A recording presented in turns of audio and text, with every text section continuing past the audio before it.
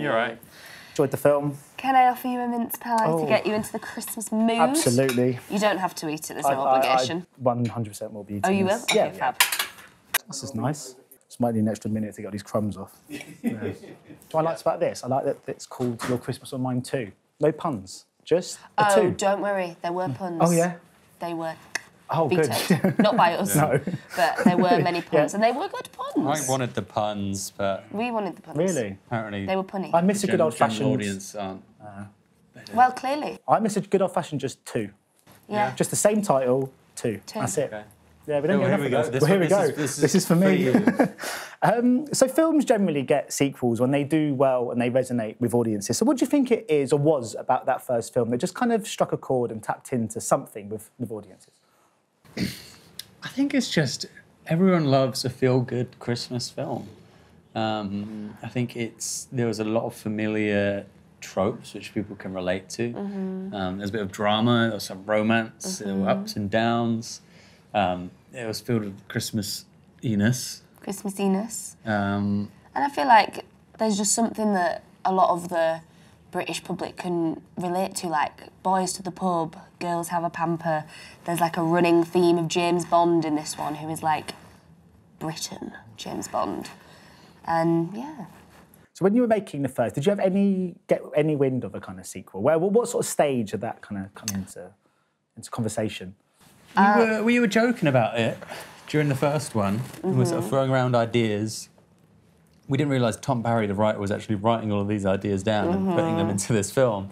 Um, but yeah, I, I don't think until the first one was like the hit it was, I don't think. I, I, I didn't think we were going to do a second one. I hoped we would. In Yeah. my New Year's resolution, I was like, your Christmas or mine too. Um, so I manifested this for us. But Mm-hmm. You did. I think there's just what can't you love about the first film, and like I'm completely biased because we're in it.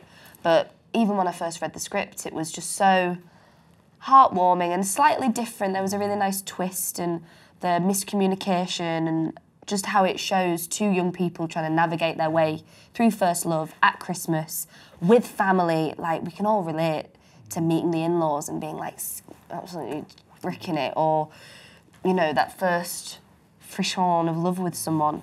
So I um, wasn't surprised that we got a second one. I was very pleased that we got a second one. I like that it was a New Year's resolution. One of mine was to be healthy this year and eat less calories. So was his.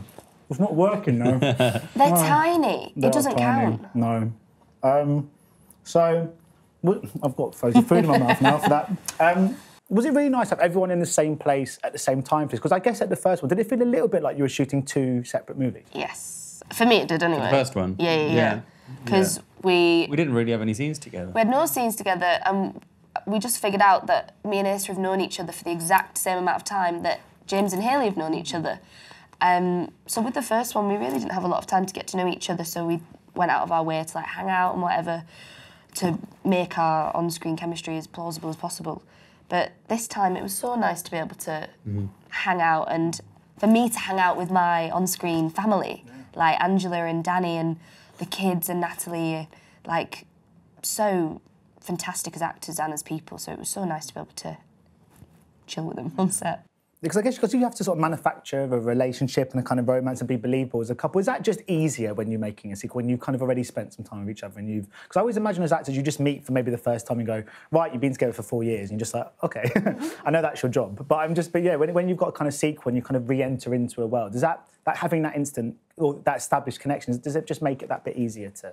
I think so. I think yeah, as you said, you you've already established the kind of little quirks and uh, specificities of that relationship, and you trust each other a lot by that point. So you can kind of take the relationship a bit further, and not just for us, but for all our families' relationships in Yeah. this in this film, and you can kind of raise the stakes because you know where the kind of boundaries lie. Uh, because yeah. Do you have any kind of because I, I like the kind of the, the kind of difference in the the two different families have their own kind of traditions at kind of Christmas. And I just wondered if you guys have any sort of unique family traditions that you uphold every year in your. So, for example, for mine, I remember me and my brother were like ten or eleven. We got a Breville toasty maker for Christmas, and it was the most excited we've ever been on? Christmas Day. No, no, we just got oh. one. And then we had a cheese toasty that day, and we were so excited. We were like, we're pulling it apart. We couldn't believe it. And now every Christmas we have a cheese toasty on Christmas morning. So like little things. Like, do you have anything? great. I know. I might nick that. You should. It's a great thing to have because Christmas lunch is like three o'clock. Yeah. So sometimes you just needed something to. Line your stomach. Mm. Yeah. We All that champagne. for all that champagne. Um, when my brother was very, very, very little, he would stand on the landing and shout, "It's Christmas!" Probably about five, six a.m. And that is when we had to get up. Like there was no messing around. Once he's shouted, off we go. Present time.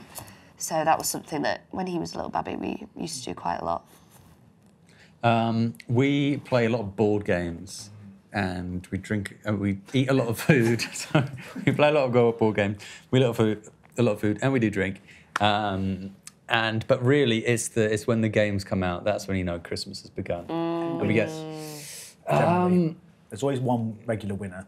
it's we're a very very competitive family. So no one gets off lightly, and it's not actually just board games. We often get quite physical games involved as well. So We've quite this- physical We've with got the this, winner. We've got this version of Pictionary, which involves a little bit of wrestling and a little bit of racing as well. Um, Racing. Yes.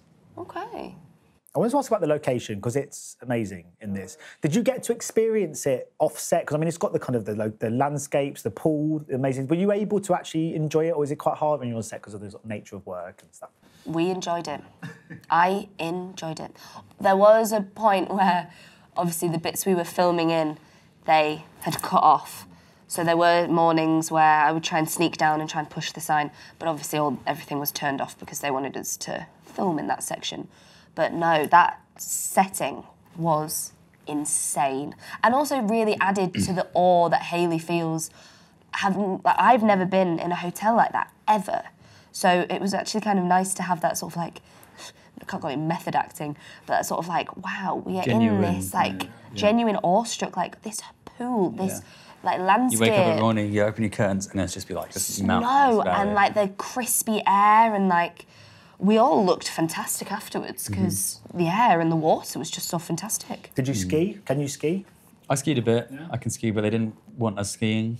In case he Because we broke his leg. in case I broke my leg exactly, and then Yeah. it's kind of kind of screwed. Kind of screwed. Can't ski, won't ski. Thank you. Uh, yeah, I tend to go on holiday. I don't want to come back with a potential injury. Sunburn is the only injury I'd, I can stomach after a holiday. We did get a bit of that because the you saw high up the sun bouncing off the snow. Mm-hmm. There were moments where I'd go like take off that huge ski suit, and my hands and my face would just be ten shades browner than the rest of my body, and it was insane. Well, on that note, the f- next film they've kind of teed it up a little bit. I noticed in the in one of the scenes. They, you said in the in the second and first film you had the writer was listening and taking notes. Did you all sort of say right? We want to go somewhere hot for the next one. yeah, goes to the Caribbean. Get Tom. us somewhere hot. Go on. But is that Uh, on the way? That film is it? Are you? I mean, it uh, sounds like we don't know. No. Uh, no one said yet, but we got our fingers crossed. Yeah. yeah. Mm-hmm. Yeah. It would be lovely to revisit the characters and for a maybe third and final time because everything, all good things come in threes. Yeah. Like the Cornetto trilogy, Lord of the last one. Rings. Yeah. Who else is a trilogy? Those two are the top that I can think of. So no, it would be really nice to do a third one. So Cool. Prime I Video. yeah, hopefully see you back in a couple more years then. yeah, yeah. definitely. Cool. Thanks very much, guys. Much Thank appreciated. you. Thank you. Well, I'm actually going to take and finish this now. I thought it'd be Yeah. funny to eat it during it, and then I just had a mouthful then you're of like, mince. "Wah, wah, wah." Yeah. We didn't think this through when we got mince pies. That we got to talk to you. Ladies and gentlemen, you're watching Hey You Guys! Hey, you guys! Hey You Guys! hey, that's what they all say. Hey, you guys. Hey You Guys!